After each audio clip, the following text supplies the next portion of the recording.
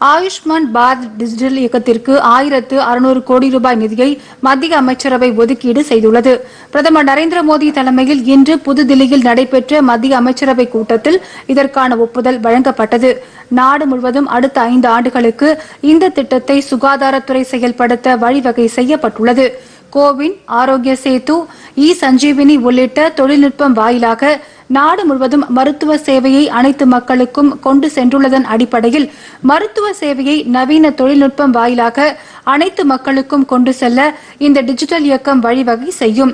ஆயுஷ்மான் பாரத் மருத்துவ கணக்கை தொடங்கி இதில் தங்களது உடல் ஆரோக்கியம் குறித்த தகவல்களை பாதுகாப்பான முறையில் சேமித்து வைக்க இந்த திட்டம் வழிவகுக்கும்.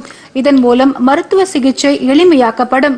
ஏற்கனவே லடாக் சத்தீஸ்கர் தாத்ரா மற்றும் நாகர் ஹவேலி டாமன் டயூ புதுச்சேரி அந்தமான் மற்றும் நிக்கோபார் தீவுகள் லட்சத்தீவுகள் ஆகிய ஆறு யூனியன் பிரதேசங்களில் இத்திட்டம் சோதனை முறையில் செயல்படுத்தப்பட்டுள்ளது.